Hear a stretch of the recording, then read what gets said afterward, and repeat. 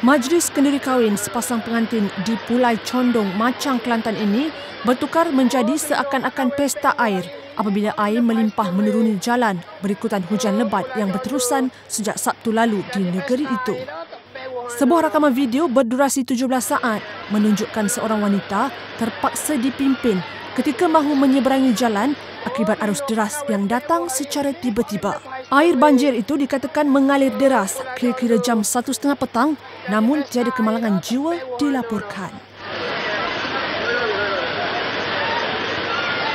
Jangan lupa subscribe. Oh, kena pak kawin pek hari ini.